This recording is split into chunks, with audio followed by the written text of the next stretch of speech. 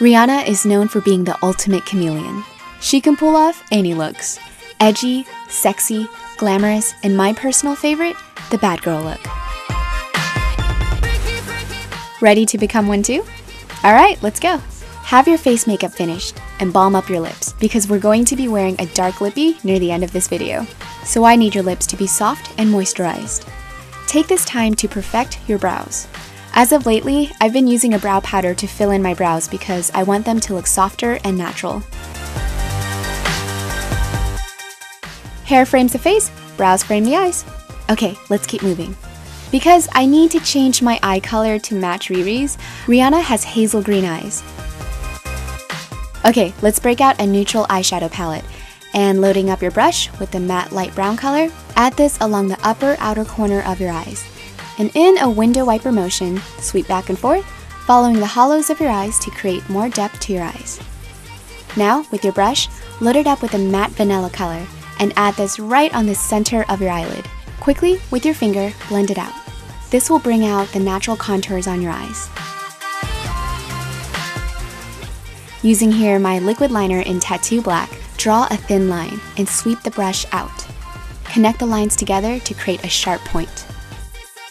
From here, just fill in the empty space and you have your perfectly shaped cat eye. The longer the cat eye, the more vixen your makeup will look. Very nice. Because we want super long lashes, curl them first to get them nice and perky. Using here my Tokyo Lash Mascara, apply generous coats of your favorite mascara on your lashes. And just keep combing through to get rid of the clumps. Okay, to recreate Rihanna's sexy eyes, take your liquid liner and extend the inner corner of your eye. Afterwards, just blend to soften the sharp line.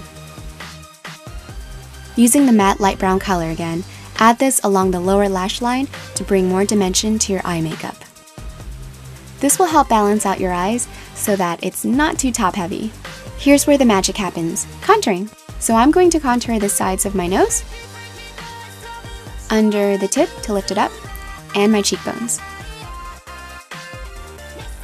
Making sure both sides are even. I'll even add a little bit on my jawline to sharpen it.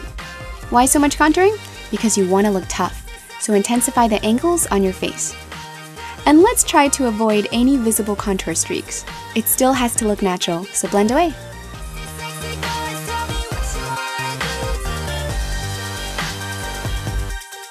Here, just remove your lip balm to reveal soft lips. Break out your dark lipstick that's either plum, berry, brown, or black. Get it ready and with your lip brush, load it up and start sculpting your lip shape. Outlining it first, then filling it in.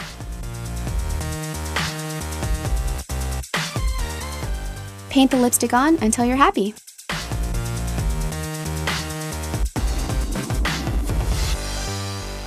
We're not done quite yet. Time to gear up. Heavy chains and metal will toughen up your look. Instead of dainty bracelets, try a cuff, and you can totally mix silver and gold together. The more piercings, the badder you'll look. But you can cheat this look with an ear cuff. And stack them rings on. The more rings, the better. And there's no such thing as over accessorizing for this look. I used to steal my brother's cap and wear them on backwards like this. A bad girl is a diamond in the rough, so keep shining bright. Being bad is about confidence. You're strong in your look, but kind and gentle to the good people around you. Be fierce, stay beautiful, and good luck.